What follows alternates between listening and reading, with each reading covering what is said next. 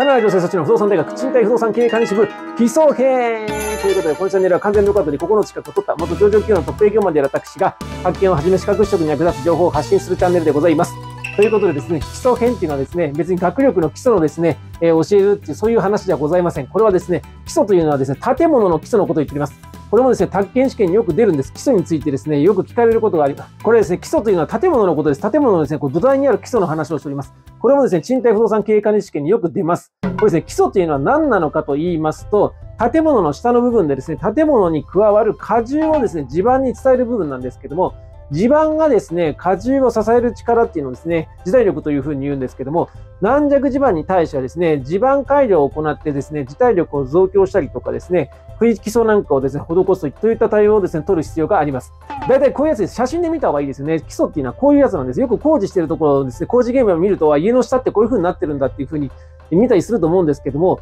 こういうのがですね、よ礎試験で出るんでございます。で、基礎っていうのはですね、大きく種類に分けられます。こちらです。はい。直接基礎。これはですね、基礎スラブで荷重を直接地盤に伝えるですね、基礎形式でございます。スラブっていうのはですね、小板のことで、まあ、わかりやすく言うとですね、物の重さを支える、こう、床のことですね、こう、こう床でございます。そういうふうに思っちゃっていただければですね、賃貸不動産経営管理試験上は特に問題ないかというふうに思います。で、この直接基礎にはですね、次の種類があるんですね。この中のものがですね、よく試験に入れます。こちらです。独立基礎。これはですね、主要なですね、柱の底部に、それぞれ独立したフーチングを置いた基礎のことでございます。はい、フーチングって何ってなりますよね。わかわからない単語いっぱい出てきます。これはフーチングというのはですね、建物の基礎にかかる荷重を分散するために、規模を幅広くしたものでございます。次のものがテキストにもよく載ってたりするんですけど、こちらです。布基礎。これですね。なんで布って思いますよね？これよくわかんないです。なんで布基礎って布を引くんですかって思うと思うかもしれませんけども、布っていうのはですね、建築用語で水平に連続していることを意味するらしいです。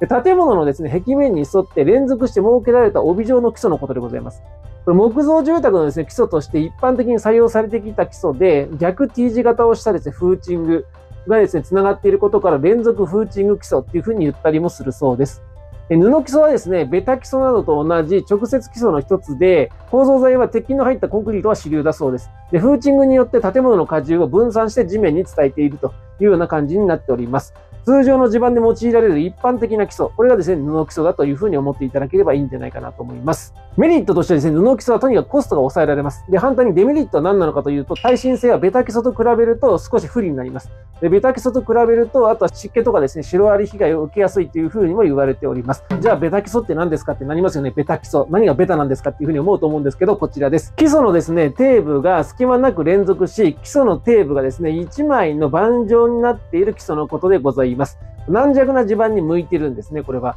で、ベタ基礎のメリットとしましては、耐震性に優れております。で、あとは湿気が建物までですね、上がらないっていう、そういうメリットもあります。あとはあとはシロアリ被害を防ぎやすいという、そういうようなメリットもあります。非常にメリットが多いです。ただですね、デメリット何なのかというと、コストが高くなるという風になっております。こんな感じの種類があります。あとはですね、地面に杭を打ってですね、基礎を作る、こう、杭基礎っていうものもあったりします。こういう風にですね、こう、建物が建っている基礎の部分っていうのはですね、いくつかの種類があるっていうのを今日まず覚えていただいて、特に試験対策上は、そのさっきの布基礎とベタ基礎、ここに関してはですね、メリット、デメリットも含めて特徴をですね、覚えておくといいと思います。ということで、また明日。